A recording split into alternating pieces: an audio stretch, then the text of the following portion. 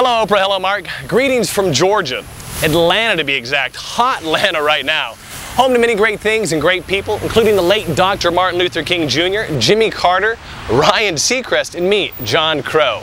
I believe that all of us discovered our paths in life at an early age, and everyone, except for yours truly and maybe Ryan Seacrest, have moved and inspired millions to pursue their dreams in life. My show is about life-changing experiences, and when it airs on the Oprah Winfrey Network, I too will inspire millions. Hey, I'm here with Shockley. Shockley, tell me uh, of an aha moment or moments you've had. Well, I was actually first getting my eyes tested, and I put on the glasses, and I was like, wow, I can see so much better.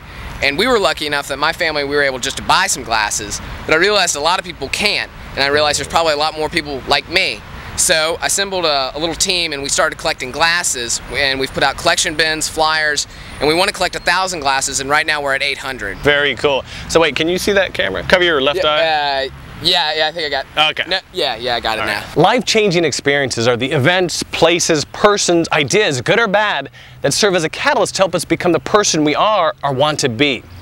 We all want meaning and purpose in our life, to be a better person and make the world a better place. Every day we experience moments that affect us in some way. And it's what we take from those moments that can change our lives and lead us down paths we never knew existed. My show is about meeting and talking to people from all walks of life, from celebrities, politicians, visionaries, and Jane and Joe Plumber, to see what they believe their moment of clarity is or should be and make it happen for them. I'm here with Sarah. Sarah, what is your moment of clarity? Well, I think it's been a series of things, but the first thing I can remember is stepping foot on Notre Dame's campus and just looking up at the Golden Dome and knowing that that's where my life was going to begin. Another moment I think was the birth of my first son. It was the first time, the second I saw him, I just instantly knew what unconditional love was. Oh, wow. That's incredible. I don't have that.